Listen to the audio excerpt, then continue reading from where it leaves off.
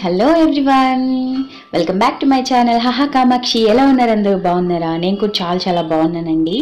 మన చేతులతో చేసుకునేటువంటి ఏ వస్తువైనా సరే మనకి ఎంతో సంతోషాన్ని ఇస్తుంది. అసలుకి ఆ కిక్కే వేరబ్బా ఆ హ్యాపీనెస్సే వేరు.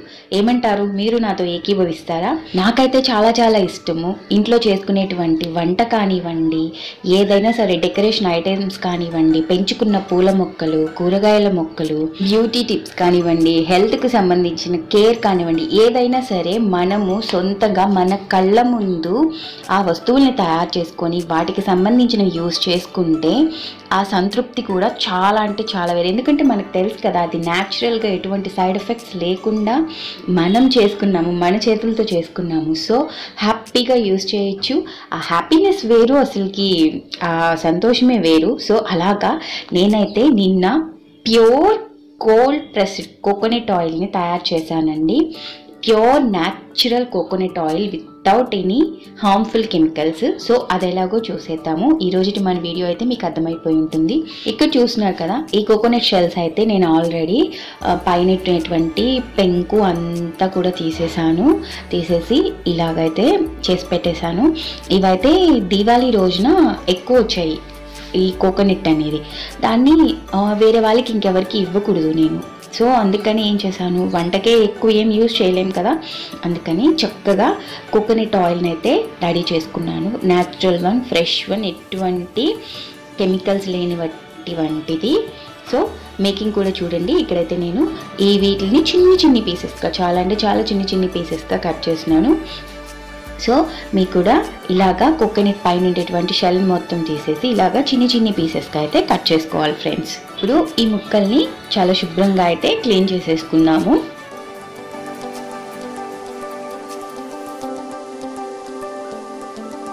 ఇలా టూ త్రీ టైమ్స్ అయితే మనము వాటర్ పోసి ఈ కొబ్బరి పీసెస్ని బాగా శుభ్రంగా కడిగేసుకోవాలి. కడిగేసుకున్న వెంటనే మిక్సీ జార్లోకి ట్రాన్స్ఫర్ చేసుకొని ఎక్కువ వాటర్ పోయకుండా మీడియంగా వాటర్ పోసుకొని దీన్ని అయితే బాగా ఫైన్ పేస్ట్ చేసుకొని ఇందులో నుంచి మనం వాటర్ని స్క్వీజ్ చేసుకోవాలండి.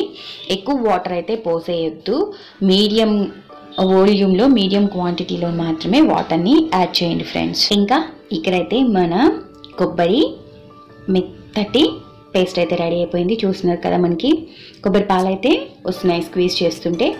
ఇప్పుడు ఈ టోటల్ కొబ్బరి పేస్ట్ నుంచి మనము పాలుని స్క్వీజ్ అవుట్ చేసుకోవాలి. మీ ఇష్టము మీరు స్ట్రైనర్తో చేసుకోవాలనుకుంటే స్ట్రైనర్తో చేసుకోండి. లేదు చేత్తో పిండేస్తాము అన్న పిండొచ్చు. ఇలా అయితే మనకి ఎక్కడ వాటర్ వేస్ట్ కాదు టైం వేస్ట్ కాదు మనకి ఎక్కువ శ్రమ అనిపించకుండా ఈజీ అయిపోతుంది. అందుకని నేను ఒక చున్నీ క్లాత్లో వేసి దీన్ని అయితే స్క్వీజ్ చేస్తున్నాను. మీ ఇష్టం అది. మీ మీ కన్వీనియంట్ని బట్టి మీరు ఎలా అయినా సరే వాటర్ని స్క్వీజ్ అవుట్ చేసుకోండి. నాకైతే ఇక్కడ చూడండి చాలా ఈజీగా అయిపోతుంది. అండ్ ఎక్కువ వేస్ట్ కాకుండా మనకి టోటల్గా వస్తుంది. నేను అందుకని ఇలాగో క్లాత్లో వేసి స్క్వీజ్ చేస్తాను అగైన్ ఇంకొకసారి ఇంకొంచెం మీడియం సైజులో వాటర్ని యాడ్ చేసి మళ్ళీ ఒకసారి గ్రైండ్ చేసుకొని యాజ్ యూజువల్ బిఫోర్ చూపించినట్లుగానే ఇలాగా పాలునైతే మనము స్క్వీజ్ అవుట్ చేసేసుకోవాలి. నేను టూ టైమ్స్ వేసిన దానికి వాటర్ కలిపి నాకైతే ఇన్ని పాలు వచ్చాయి. ఇంకా మన నెక్స్ట్ ప్రాసెస్ వచ్చి ఒక మంచి శుభ్రమైనటువంటి కవర్ ఏదైనా తీసుకోండి. క్యారీ బ్యాగ్ అయినా సరే పర్వాలేదు. లేదు ఇలాంటి ట్రాన్స్పరెంట్ కవరే కాదు. ఏ కలర్ అయినా పర్లేదు. నేను మీకు కనిపించాలి కాబట్టి ఇలా ట్రాన్స్పరెంట్గా ఉండేటువంటి కవర్ని అయితే యూజ్ చేస్తున్నాను.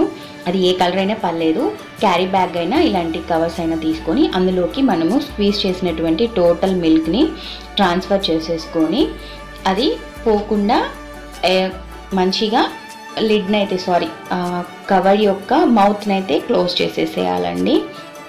ఇక్కడ చూపిస్తున్నాను కదా ఈ విధంగా. నేనైతే ఇంటికి ఎన్ని కోకోనట్స్ తీసుకున్నాను చిప్పలు అనేవి మీకు చెప్పలేదు కదండి. మీడియం సైజ్గా ఉండేటువంటి వాటిని ఒక ఫైవ్ తీసుకున్నాను. దానికి వాటర్ యాడ్ చేసి పాలని స్క్వీజ్ చేస్తే ఇన్ని వచ్చింది. క్వాంటిటీ అంటూ ఏం అవసరం లేదు. ఇది మనకు ఉండేదాన్ని బట్టి మనం చేసేసుకోవచ్చు. నో ప్రాబ్లం అంటే కొంతమంది ఎన్ని క్వాంటిటీ వేసారని మళ్ళీ మీరు క్వశ్చన్ రైస్ చేస్తారు. నేను అందుకని ముందుగానే మీకైతే చెప్పేస్తున్నాను.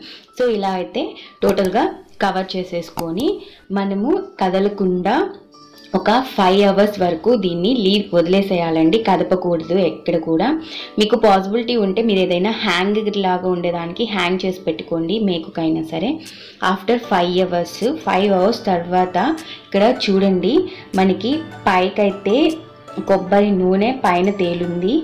కింద వచ్చి మనం పోసినటువంటి వాటర్ అంటే మనం ఎక్స్ట్రాగా యాడ్ చేసిన వాటర్ ఉంది. ఇప్పుడు ఆ వాటర్కి మొత్తం మనం బయటికి తీసేసేయాలి. అందుకని ఆ కవర్కి క్లో హోల్ పెట్టి ఆ లోపల ఉండేటువంటి వేస్ట్ వాటర్ని మొత్తం బయటికి తీసేస్తున్నాను. మీరైతే రెడీగా ఉండాలి. ఆ వేస్ట్ వాటర్ మొత్తం బయట పోయిన తర్వాత వెంటనే మనం ఆ హోల్ని క్లోజ్ చేసేసి మనకు ఉండేటువంటి ఆ కొబ్బరి వేస్ట్ కాకుండా చూసుకోవాలి ఫ్రెండ్స్ ఇది మనకు కావాల్సినటువంటి కోకోనట్ ఆయిల్ అండి. ఈ వైట్ కలర్ మొత్తం పోకుండా మనము గట్టిగా పట్టేసుకోవాలి. సో దీంట్లో నుంచే మనకి ఇప్పుడైతే కోకోనట్ ఆయిల్ వస్తుంది. నెక్స్ట్ ప్రాసెస్ ఏంటో మీకు చెప్తాను. ఇంకా కింద ఉండేటువంటిది ఇదైతే వేస్ట్ వాటర్ మనం ఎక్సెస్గా యాడ్ చేసింది పక్కన పెట్టేశాను. ఇంకా ఈ కవర్లో ఏదైనా ఉందా అనేసి కంప్లీట్గా అయితే వేస్ట్ పోకుండా ఇలాగా ప్యాన్లో మూకుడు మూకుడు అంటారు కదా మూకుడులోకి అయితే తీసేసుకున్నాను. అలాగే ఇంకొక ఇంపార్టెంట్ వన్ ఏంటి అని అంటే మనం పెట్టేటువంటి మూకుడు చాలా దళసరైనది మందపాటిది ఉండాలి.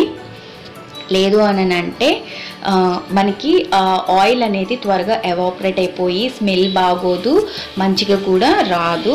సో అందుకని దళసరిగా ఉండేటువంటివి ఇత్తలివి ఉన్నా పెట్టుకోండి. లేదు పెద్ద పెద్ద కడాయిల టైపు మూకుళ్ళు ఉంటాయి కదా అలాంటివైనా పెట్టుకోండి. నేను ఇక్కడ అల్యూమినియందే బాగా దళసరిది పెట్టాను. సో ఫస్ట్ హై ఫ్లేమ్లో ఉంచండి. ఒక పొంగు వచ్చేంత వరకు. అంటే మనం మామూలుగా పాలు కాచేటప్పుడు ఎలా పొంగుతాయో అలాగే ఈ కొబ్బరి పాలు కూడా పొంగుతాయి. సో ఫస్ట్ పొంగు వచ్చేంత వరకు హై ఫ్లేమ్లో ఉంచి వన్స్ ఇలాగా పొంగు వచ్చేసిన తర్వాత ఏం చేస్తారంటే సిమ్లో పెట్టేసేయండి. చిన్న పొయ్యి మీదే ఆ చిన్న పొయ్యి మీద కూడా సిమ్లో పెట్టండి. ఫ్లేమ్ అనేది చాలా లో ఫ్లేమ్లో ఉండాలి. వన్స్ మనము లో ఫ్లేమ్లో పెట్టాము అంటే ఇంకా అప్ టు ఎండింగ్ చివరి వరకు కూడా మనకి కోకోనట్ ఆయిల్ అంతా వచ్చేంత వరకు ఫ్లేమ్ లోలోనే ఉండాలి ఇంకా హై చేయకూడదు. అలాగే అది అడుగు అంటకుండా మిడిల్లో మనం కలయబెడుతూ ఉండాలి. చూస్తున్నారు కదా మనకి ఆయిల్ అయితే రావడము స్టార్ట్ అయింది. సో ఇలాగా అడుగంటకుండా లో ఫ్లేమ్లోనే మిడిల్లో కలయబెట్టుకుంటూ ఉండాలి. ఇలా బ్రౌన్ కలర్లోకి వచ్చేంత వరకు మనము కలయబెట్టుకుంటూ చూసుకుంటూ ఉండాలి. ఇలా బ్రౌన్ కలర్లోకి వచ్చిన తర్వాత మనకి ఆయిల్ అయితే రెడీ అయిపోయిందని అర్థము. సో స్టవ్ ఆఫ్ చేసేసి దీన్నైతే మనము కూల్ అవ్వనిద్దాము. ఇప్పుడు మనమైతే ఆయిల్ని చక్కగా ఫిల్టర్ చేసుకుందామండి. చూడండి చాలా బాగుంది అసలుకి. తాకుతుంటే అసలుకి జిడ్డే లేదండి. ఇంత బాగుంటుందేమో మన ఇంట్లో తయారు చేసేటువంటి coconut oil fresh one pure one అయితే ఇలా ఉండాలి అని అయితే నాకు అప్పుడు అర్థమైంది. చాలా అంటే చాలా బాగుంది ఫ్రేగ్రెన్స్ కూడా బాగుంది. ఆ కొబ్బరి నూనె స్మెల్ అనేది తెలుస్తుంది. ఈ ఆయిల్ అయితే గడ్డ కూడా కడుతుందండి. మనకి పాతకాలంలో మంచుకి మన కొబ్బరి నూనె గడ్డ కట్టేది. ఇప్పుడు ఎక్కడ కడుతుందండి? బట్ మనం ఇప్పుడు ఇంట్లో తయారు చేసినది ప్యూర్ వన్ కాబట్టి ఖచ్చితంగా అయితే గడ్డ కడుతుంది.